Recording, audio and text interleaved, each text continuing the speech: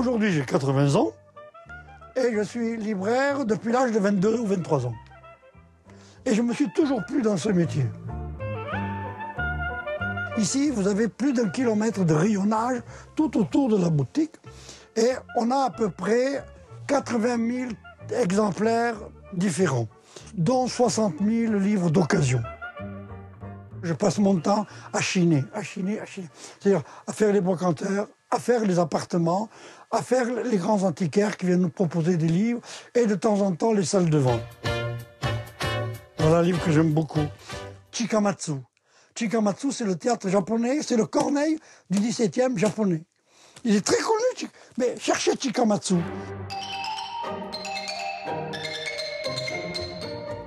Monsieur s'occupe d'une grande librairie, euh, d'un musée à Dallas, hein Houston. Houston, à Houston, ouais, je me trompe tout le temps.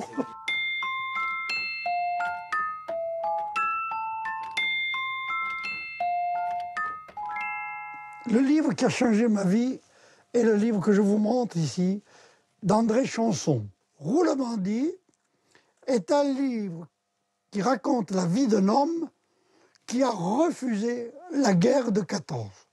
Ce livre-là m'a inspiré la liberté et le respect de ce que je voulais faire, d'être toujours en accord avec moi-même. Le livre défend la liberté. Sans livre, il n'y a pas de liberté. Et toutes les grandes avancées que nous avons eues, il y a toujours quelqu'un qui a écrit un livre avant.